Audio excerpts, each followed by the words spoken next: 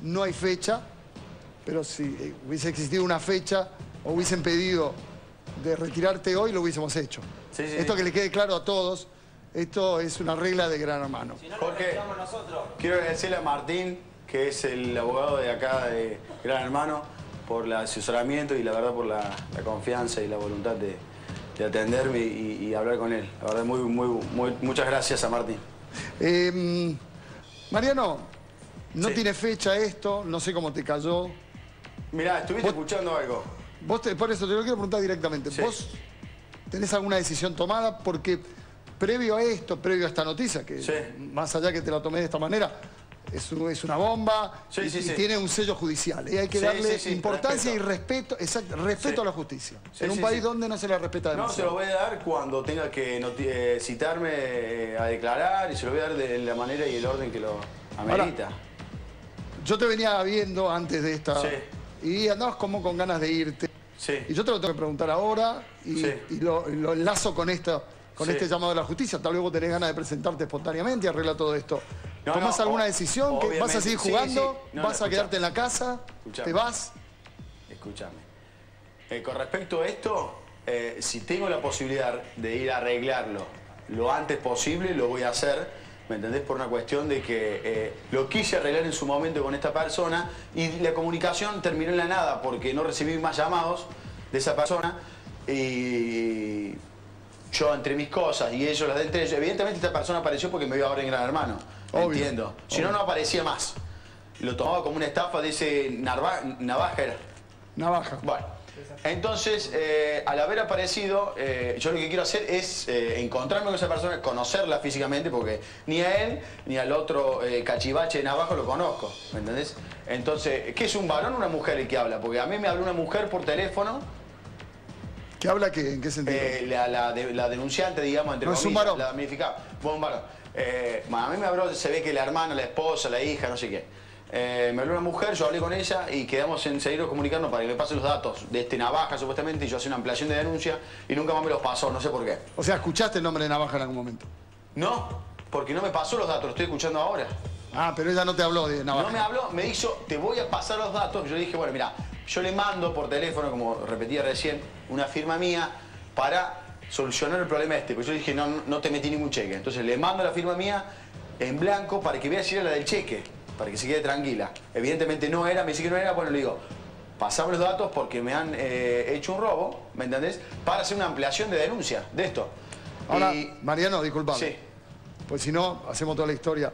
La pregunta que yo te quiero... Vos tenés ganas de resolverlo rápido. Ahora, eh, como no hay fecha, Sí. si vos querés resolverlo rápido es una decisión tuya, no de gran hermano. No, no, ya sé. O sea, no te podemos dejar salir y Sí. volver porque no es una decisión de la justicia. Sí, sí, sí, sí. Como no hay fecha, no hay decisión. Sí. Ahora, si vos querés, por eso te pregunto, y es la pregunta y concreto ahora. ¿qué actitud vas a tomar? ¿Te vas a quedar en la casa, seguir jugando y esperás que la justicia Mirá, tal vez te llame yo- o, no- yo- o te llame cuando salgas? Yo te digo la verdad, Jorge, yo a Gran Hermano le dije anoche que me quería ir. Por eso te Hoy pregunto. a esta hora. Y si la cosa está, me voy ahora. Pero no por esto, ¿eh? Otras circunstancias que ya las declaré y ya las dije. Y bueno, hablamos con otra cosa de Gran Hermano que me dijo, ya te lo voy a confirmar, eh, un par de negociaciones, ¿viste? Que le pedía un helicóptero, unos pasajes a Europa. Está y, bien. y para que yo me vaya tranquilo y conforme y sin romper nada. No, le hablamos unas cositas, ¿viste? Y bueno, quedó en eso. Pero mi situación no cambia en esto Pero a esta hora, a esta hora que estás hablando vos y yo en vivo Es la que te dije. Te quedás en la casa. Eh, yo a Gran Hermano dije me quedaba porque empezamos a una negociación de unas cosas. Pero, eh, ¿me entendés? Si él, ¿Pero qué, qué pues, ¿Puedo saber yo qué negociación? ¿Se puede saber? él me decía, mira, ¿qué te parece esto? ¿Qué te parece lo otro? No sé si decirlas, porque por ahí No, está bien, también... está bien. Sí, sí, digo- Tonteras, cosas tonteras. Por eso, que para que le quede claro... lo- hoy, Capaz que me iba mañana, pasado, algo un pormenores. Y Por yo eso. no sabía nada de esto. No, no, pero para que quede claro, por eso, que, que no es una negociación que a vos te hace diferente a todos los demás. Esto que No, quede claro. no, no, perfecto. cosas pormenores, ¿me entendés? Perfecto, Tipo entonces- mancuerna, una cosa así. Por eso, perfecto.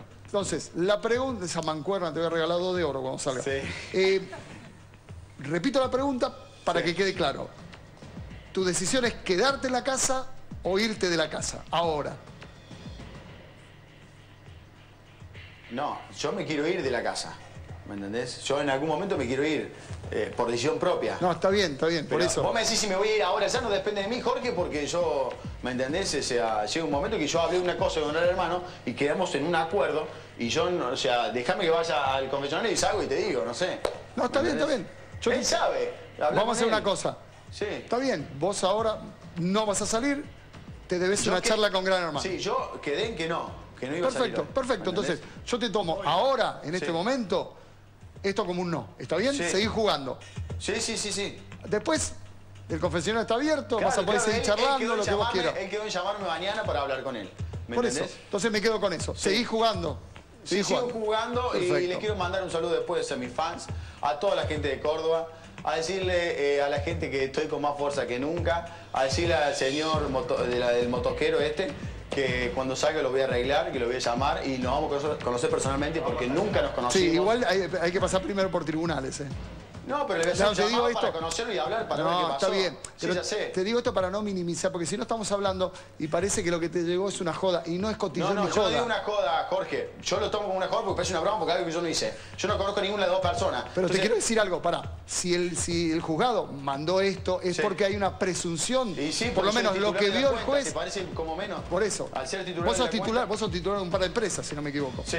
Perfecto. Entonces lo que te digo es, tomémoslo en serio, Sí. porque eh, si, no, me lo tomo en si- si serio. lo envió esto, el juez tiene una presunción, Pero una sí, sospecha y- de que algo pudo. Y yo, se, y yo se lo voy a aclarar y lo voy a ir a declarar Perfecto. todo. Pero me gustaría salir y hablar con esta persona, primero para conocerla, porque en mi vida la conocí. Y segundo, para ver de qué forma arreglamos esto. Y bueno, le quería mandar un saludo a mi familia también, a todos mis amigos, a la gente que me quiere, que se queden tranquilos, que estoy bien. Eh, bueno, me gustaría verlos en algún momento. La abuela, mono. Y, sí, la abuelita, le mando un besito grande a la abuelita. y, y bueno, a los fans que gritan también, porque me han gritado cosas lindas también, así que bueno. Bueno. Y otra voz, gracias Jorge por alegrarnos la tarde. A Bueno. los chicos y bueno. Eh, me voy entonces, vine es- especialmente para esto, para que vos te Es enteraras especial. oficialmente y los chicos también, porque los chicos merecen también saber todo lo que pasa en la casa. Si esto sucediera con, con otro, vamos a hacer lo mismo. Chicos, gracias, eh. Dale, Nos vemos en la gala. Chao, gracias.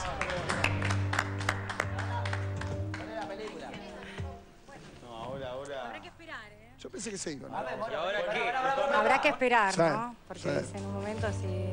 Yo creo que le va a caer la ficha en un rato. Tratemos que no. La verdad que creo que al juego le hace bien que esté mareando y que el público decida si se tiene que ir o no. Hoy no es uno de los que está en placa. No. Bueno, muy bien, Jorge, muchas gracias. Sí, que lo llamamos, el levan- vino nomás de la casa, que estaba descansando, se levanta Estaba muy bien. temprano para Ciudad Gótica. Este, muchísimas gracias, No, Jorge. gracias. ¿eh? No, y lo bueno de dejar claro es esto. Sí. Gran Hermano no es un aguantadero. Ante cualquier problema judicial, las puertas de la casa están abiertas. Digo esto para que quede muy, muy claro. Y hoy lo demostramos. Por supuesto, a disposición absoluta de la justicia. A la hora de descansar voy a intentar, Jorge.